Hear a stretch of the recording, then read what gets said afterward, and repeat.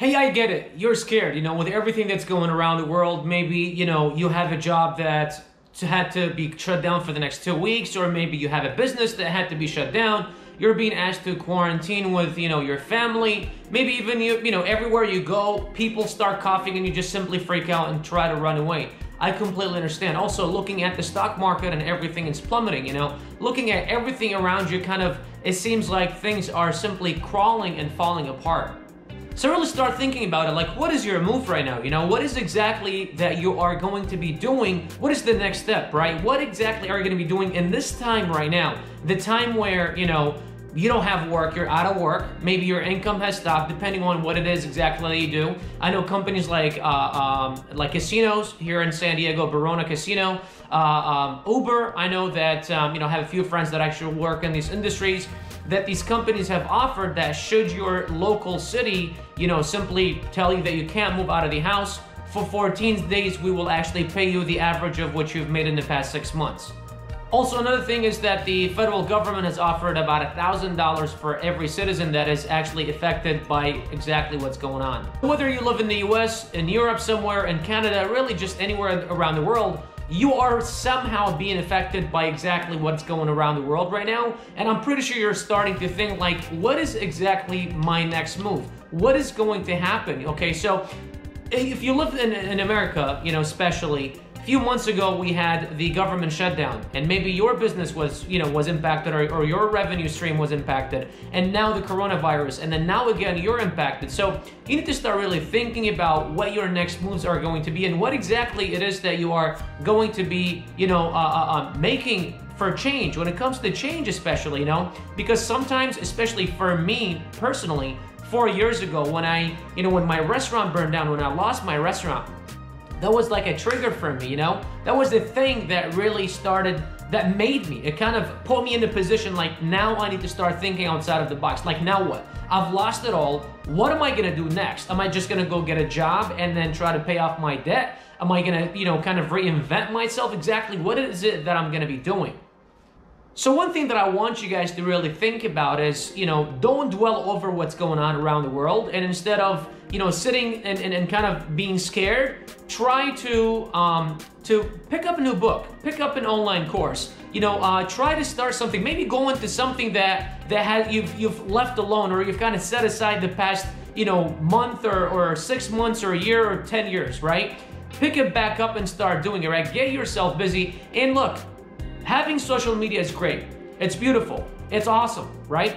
But let's face it, everyone and their sister is now an expert, right? You've got the CDC, you know, kind of uh, uh, putting things in, in, in front of you, which is great to be following what's going on. You've got the White House, and then you also have everyone, you know, the different governments around the world, and you have, you know, your your your influencers, the people that you follow and that you trust, you know, they're coming up with their own versions, and then you've got all these different people kind of colliding in front of you, and, and you just kind of don't know, well, who do I trust? Exactly what's going on, and then you see people, you know, going crazy about toilet paper, and um, and it's just like you're you're you're freaking out, right?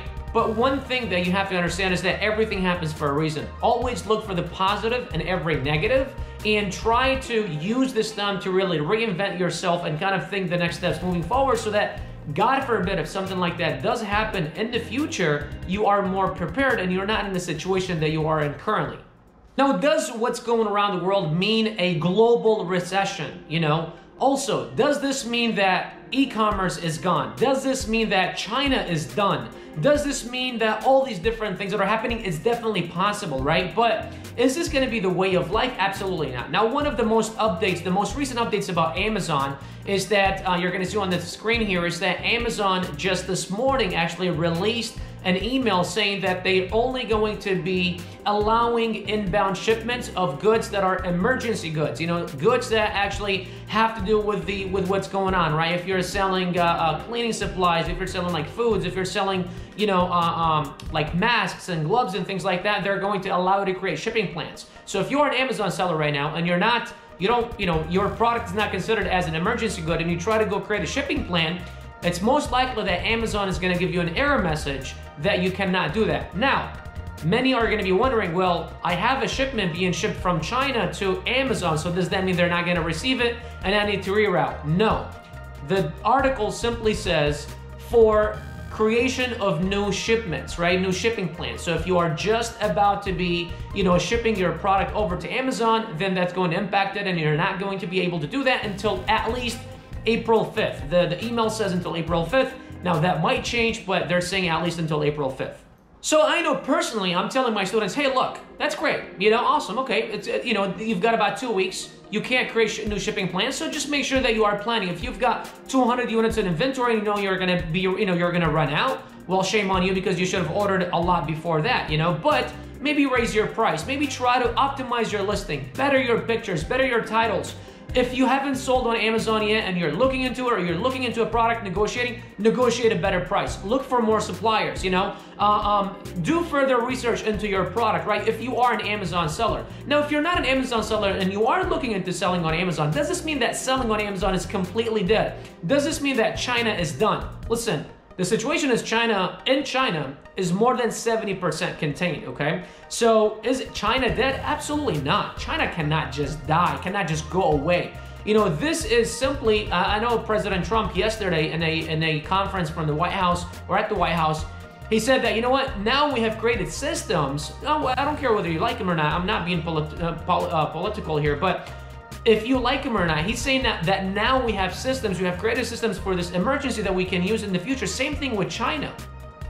Now they are aware of what the potential can be, what the exposure can look like should this happen, and now they have just bettered their systems. So if anything, now there are better systems to really, you know, uh, uh, deal with such situations should they happen in the future again. That's why I'm saying always look for the positive in every single negative. Now look, when I first heard of quarantine, I didn't even know what it meant. I probably still don't even know how you spell it, to be honest with you. Now, you know, when they said you have to quarantine yourself and sit home, I was like, but wait, I only leave the house like twice per week. If that on Sundays, I go out with my wife. And then, you know, usually, you know, Thursdays or Tuesdays, we'll either go shopping or we'll go have dinner somewhere. So to me, really, my lifestyle has not changed even a bit, right? So that's why I'm saying you need to kind of reevaluate your situation. If you are working a job, especially those of you that are like truck drivers or have to travel hours to get to your job, why not make this a, a, a kind of a, a wake up call that, hey, I need to really rethink my life. What if I created a, a mobile business? What if I created a digital business that doesn't, you know, require me to travel? That I don't need to always be traveling. Like I know some of you that are like consultants or or do something that you have to actually fly over to your clients. That's probably stopped, you know? So maybe start thinking of how to digitalize this business, how to take it online completely instead of doing maybe one webinar per month and then visiting your client the, the, the rest of the time, right? Or simply starting an e-commerce business or starting Amazon business or something like that. So this could so be a wake-up call for you to, to really think about. For me, the past three years, I've been doing what I do right now. And, and you know, my life hasn't exactly changed when they said the quarantine. I know Albertsons is right down the street. We shopped. I didn't go crazy. We bought enough food for a week. You know, I know I can survive off of one one meal per day, right? So that's why I always say like, don't panic.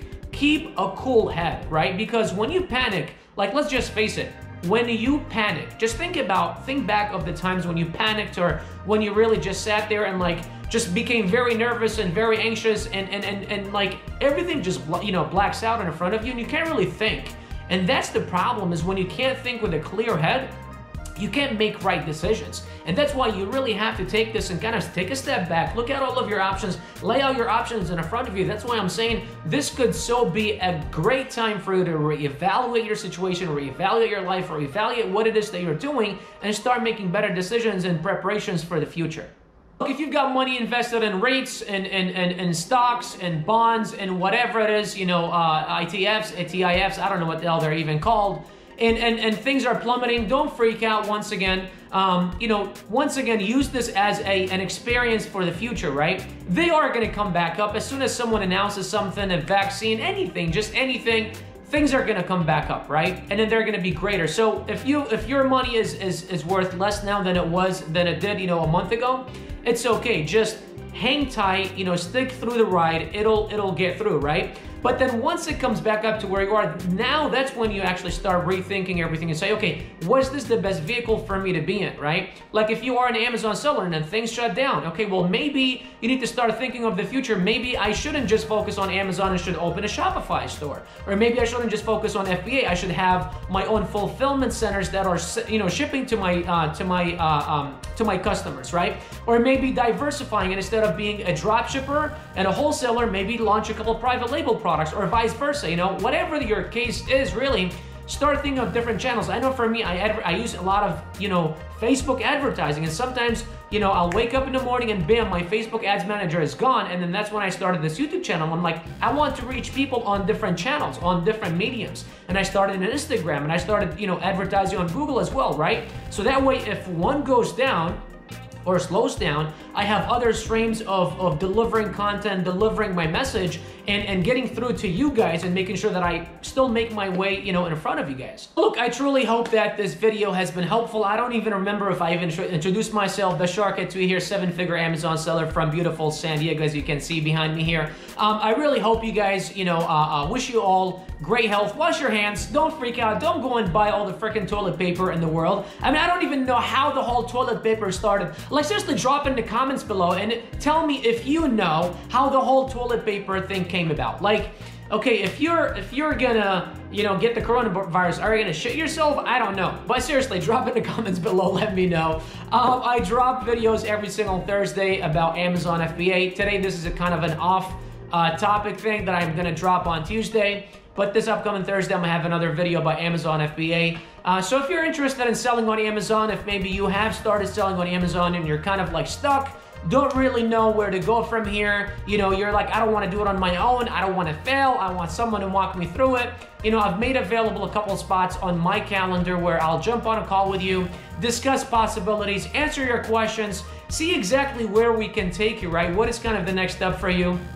And then just kind of go from there. So click the link below, apply, and then let's see if we can help you. But aside from that, guys, Bashar Katou here. I do appreciate you all for being so awesome and taking the time to really watch this video. Once again, be careful, don't panic. That's my motto the past couple of weeks now. Be careful, don't panic, wash your hands. I'll see you all in the next video. Y'all have a great day and cheers.